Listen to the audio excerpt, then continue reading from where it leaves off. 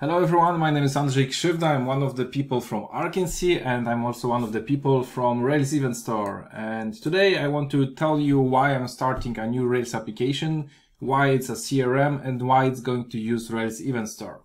So for those of you, and before I start doing this, let me just do it in the background. So I'm going to use uh, a template, uh, which I will show you later for creating a new Rails application and I will call it CRM because it usually takes a while. Let's make it run in the background.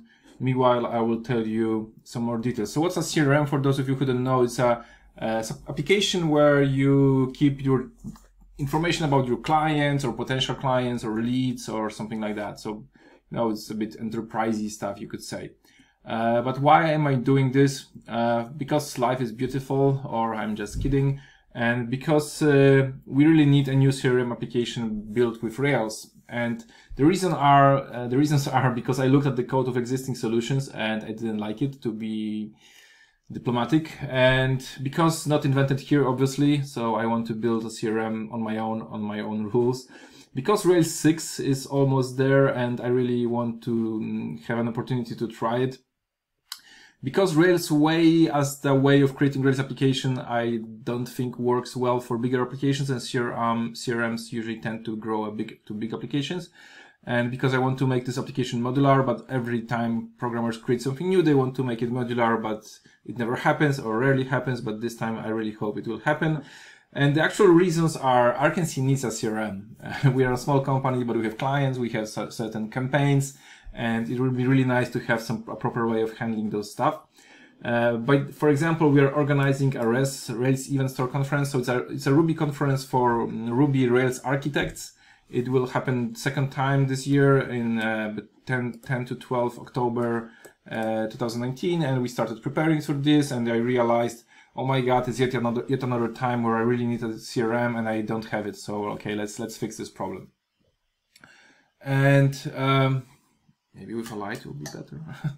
um, and because Rails Event Store as a tool for um, uh, for uh, event-driven Rails applications needs more example applications and starter applications. Starter application is something that you can just copy and paste and then extend on your own.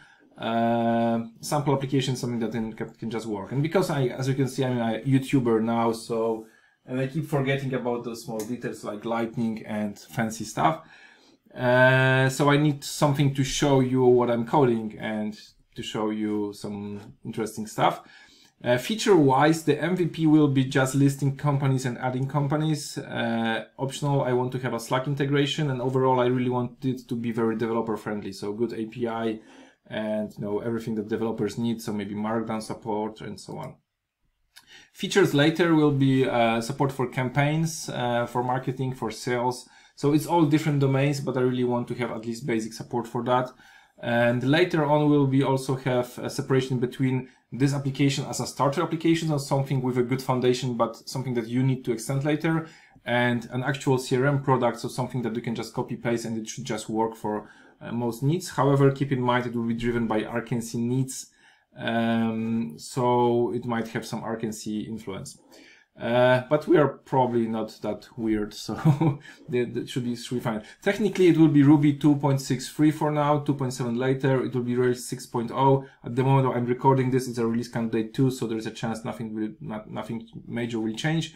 It will be deployed to Heroku because I know how it works. Uh, it will run with production tests at a concept that I will explain in some other videos. It will use mutation testing, another concept which will exp explain why and how. It will use Rails Event Store because I believe event-driven architectures are um, the requirement for modular architectures. So there will, be, will be, a lot about events and you can learn a lot about events, events here.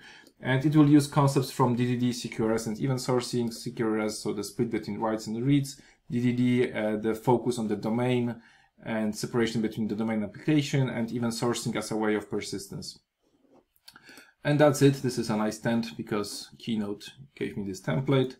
Uh, hopefully this is now generated. Yes, it is. Um, so I can start it. So basically what Rails Event Store, what this template did was generating migration because we need two tables uh, event store in event in streams, and we need event store events. So there are two database tables and some indexes. We also have some UI for browsing the. Um, oh, sorry.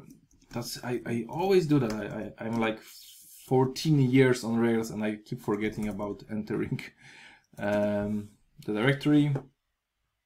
Right. So this should work. Oh, that's, that's something that I wanted to show you as well. And hey, you're on Rails, so and as I said, release candidate 2, Ruby 2.63. Um, there is this stuff called res. Sorry, that's not this one. Yeah, so this is a browser for events. There are no events yet, but I will, sh will show you why it's important. And we are on 0.41 right now. And if you are interested in learning more about this approach, obviously watch my next videos and other videos on this channel. Uh, but also uh, please come to ResCon, which is a Rails Event Store conference. But actually, it's a conference for Ruby and Rails architects where, we, where you can learn all about event-driven architectures. There will be a workshop, there will be Rails Architect Masterclass, the offline edition. So it will be a three days event where you can really learn a lot during those free events. So mark your time in the calendar, subscribe here. So it's railscon.arkency.com and you will receive a proper offer later, maybe used with used, uh, maybe we can use the CRM for sending you the offer and you can learn the details like pricing and so on and maybe you can talk to your company why they need budget to send you there. So for now that's all. Uh, I hope it was um, it sounded interesting to you. So in my next videos I will try to show you some next steps like how I'm deploying to Heroku how I'm implementing the basic features. So for now that's that's it. Thank you very much